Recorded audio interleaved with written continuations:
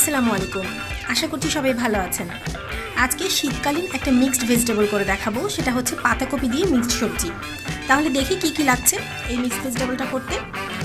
এখানে আমি পাতাকপি কুচিয়ে নিয়েছি, একটু মিহি কুচি। একটা বড় সাইজের পাতাকপি থেকে প্রায় অর্ধেকটার মতো কপি আমি কুচিয়ে নিয়েছি। থাকছে গাজর, মিহি কুচি করা। এখানে একটা গাজর আছে কুচি করে নেওয়া। একটা মিডিয়াম সাইজের আলু আছে। চার কোনা করে নেওয়া। তবে টুকরাটা আপনি আপনার চাইলে পছন্দ মতো করতে পারেন আর একটু ছোট করতে পারেন বা একটু পাতলাও করতে পারেন। আমি এভাবে নিয়েছি। মটরশুঁটি আছে পরিমাণ মতো। আছে কিছু ধনিয়া পাতা। এখানে আছে পেঁয়াজ কুচি, প্রায় হাফ কাপের মতো। কিছু কাঁচামরিচ আছে ফালি করা। এখানে দেখতে পাচ্ছেন ওয়ান স্পুনের মতো রসুন বাটা হাফ স্পুন আদা বাটা ওয়ান স্পুন হলুদ গুঁড়া হাফ স্পুনেরও কম পরিমাণ শুকনা মরিচ গুঁড়া, আছে পরিমাণ মতো লবণ। এখানে দেখতে পাচ্ছেন প্রায় ওয়ান স্পুনের মতো আস্ত জিরা আছে। আর লাগছে রান্নার জন্য পরিমাণ মতো তেল। তাহলে আমরা এখন রান্নাতে চলে যাই। দিচ্ছি কড়াইতে। তেল গরম হয়ে গেলে,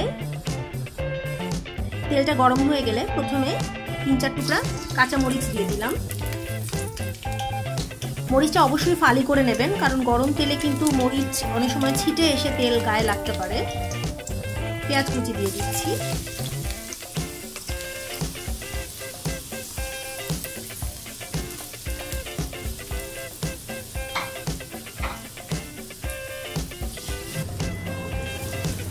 পেঁয়াজটা হালকা করে একটু ভেজে নিব। পেঁয়াজটা যখন দেখবেন এরকম একটু হালকা গোল্ডেন ব্রাউন হয়ে গেছে, এর ভেতর দিয়ে দিতে হবে। আমার যে আস্ত জিরাটা ছিল, সেটা। হালকা একটু নাড়াচাড়া করে নিচ্ছি।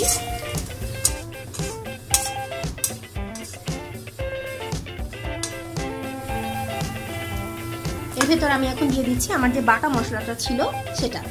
রসুন এবং আদা বাটা।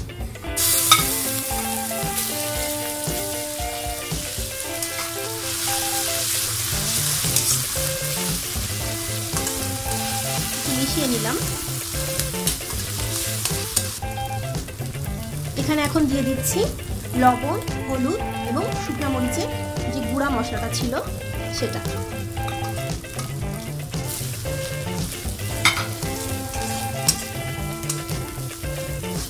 সামান্য একটু পানি দিয়ে দিচ্ছি, কারণ গুঁড়া মশলাটা সরাসরি তেলের উপর দিলে অনেক সময় পুড়ে যাওয়ার ভয় থাকে। খুব সামান্য পরিমাণে মশলাটা একটু কষিয়ে নিচ্ছি।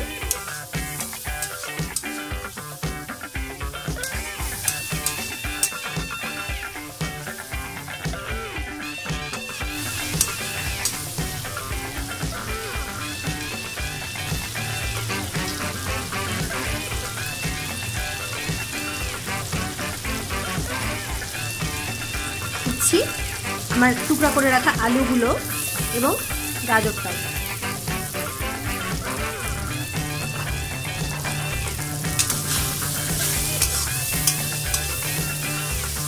মিশিয়ে নিলাম। এখন আমি যে পাতাকপি কিছু করে রেখেছিলাম, সেটা এদিকে দিয়ে দিই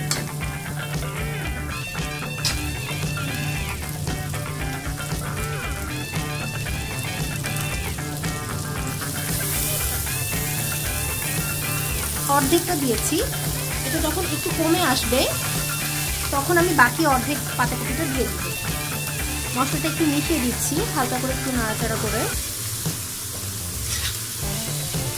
একটু পরিমাণে কমে এসেছে। এখন আমি আমার বাকি পাতাকপিটা এর ভেতর দিয়ে দিচ্ছি।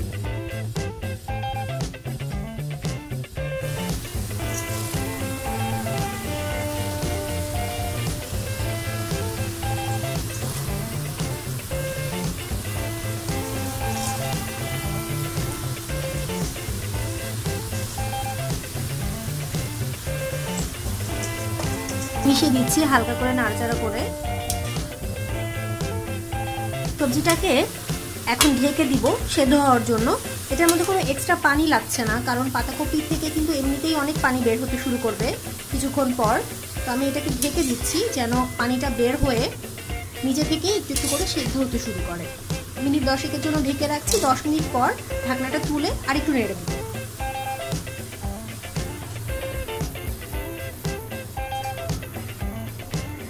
দশ মিনিট হয়ে গেল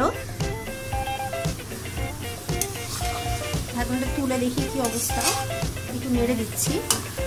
এটা কিন্তু একটু একটু করে কমতে শুরু করেছে এবং কপিটার গা থেকেও একটু পানি ছাড়তে শুরু করেছে। আমি হালকা করে একটু উল্টা পাল্টে নেড়ে দিচ্ছি। এই সবজিটা খুব বেশি চড়া আছে আসলে রান্না করা যাবে না। এটা একটু কম আছে, রান্না করতে হবে। কিছুক্ষণ পর পর একটু ঢেকে দিয়ে এবং নেড়ে অল্প আছে, রান্না করব।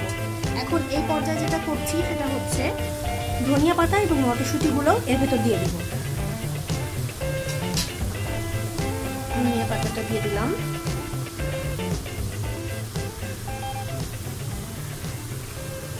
মটরশুঁটিগুলো দিয়ে দিচ্ছি। মটরশুঁটিগুলো আমি ধুয়ে রেখেছিলাম ভালো করে, পানি ঝরিয়ে। হালকা করে একটু নেড়ে মিশিয়ে দিচ্ছি। আবারও ঢেকে দিব দশ মিনিটের জন্য।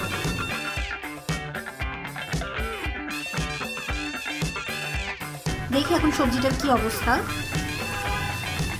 সবজিটা পুরোপুরি সেদ্ধ হয়ে এসেছে, তবে এর মাঝে আমি দুই একবার ঢাকনাটা তুলে সবজিটা উল্টে দিয়েছি, একটু উল্টে পাল্টে নাড়াচাড়া তবে এছিলাম যাতে নিচে লেগে না যায়, সেটা একটু খেয়াল রাখতে হবে।